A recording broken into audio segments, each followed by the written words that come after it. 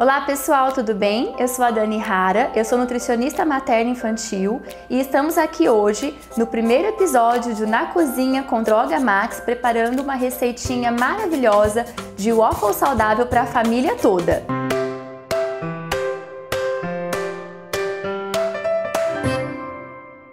É uma receita prática, simples e deliciosa. Ingredientes: dois ovos, nós vamos usar meia xícara de chá de leite. A opção aqui foi leite de coco, mas se você não gostar, você também pode utilizar água, que também dá certo.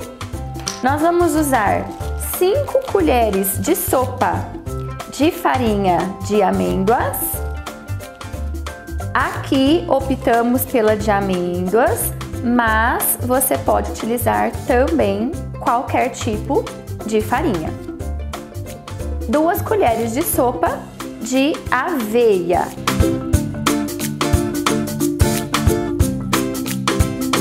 Uma colher de sopa de açúcar de coco.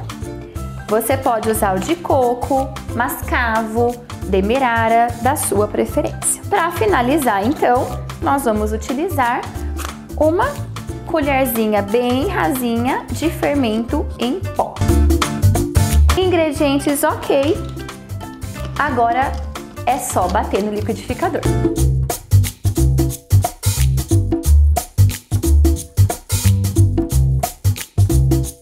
Bom, massa pronta. Aqui eu tenho uma maquininha de waffle. Porém, se você não tiver na sua casa, não tem problema nenhum. Você pode fazer na frigideira, como se fosse uma panqueca, que dá certo também. Agora é só esperar ficar pronto waffle pronto e claro que para dar aquele charme, vamos colocar uma coberturinha de mel. Espero que vocês tenham gostado desse episódio. Até a próxima receita!